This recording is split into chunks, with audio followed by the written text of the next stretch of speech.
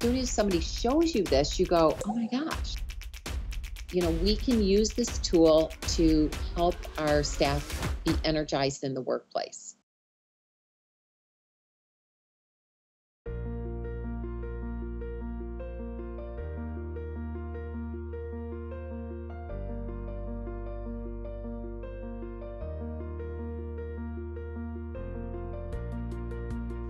You're going to retain people if you understand how to use the AcuMax in the daily lives. Like you saw, they literally, our AcuMax is part of our name badge.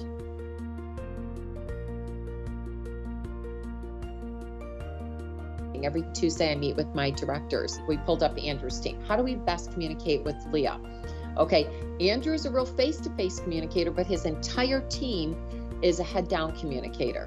He's looking at bringing a face to face. What kind of dynamics is that going to do to his team? How do you best meet with them? How do you give them information? And when they're frustrated, the first thing we do is pull up the AcuMax.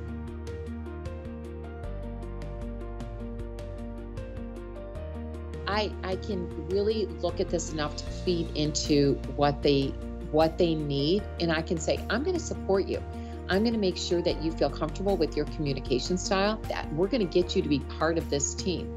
You want procedures. You want to know what's expected of you. You don't want 20 unfinished tasks because that's going to de energize you. So we're feeding into the person. Um, when we have conflicts in the workplace, the first thing we say is, let's look at the AcuMax. And by the way, I've never done an interview that somebody doesn't go, oh my gosh, like, do I have to answer any questions? It seems like you thing about me. I'm like, all we know is how to best help you in the workplace be successful and energized.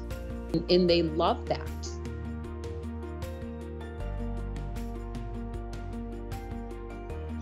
We use this just to remind ourselves that that's just the way they talk about it. And we often, in our communication around here, when somebody does something, we go, oh, test communicator, social communicator.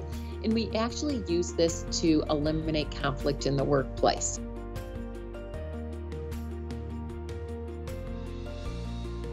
Let's really talk about how to work with your team. I had a new BCBA and she's like, I'm struggling with this BCBA. I brought her in, we went through um, the, the other BCBA's profile. I said, This is how you need to communicate, this is what you need to do, and almost instant result.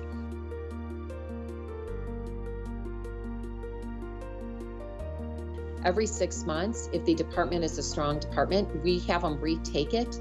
And then we look, and it's really fun, is you will see their adjusted self um, literally eh, like identical. So then we continue to say, okay, we need to make sure that when we're hiring people that we look at people who would match that. So we don't just go what we think the job should be, like our front desk. I really thought they would need to be low C's because they have lots of things going on but every time we've reassessed them, they all are high C's.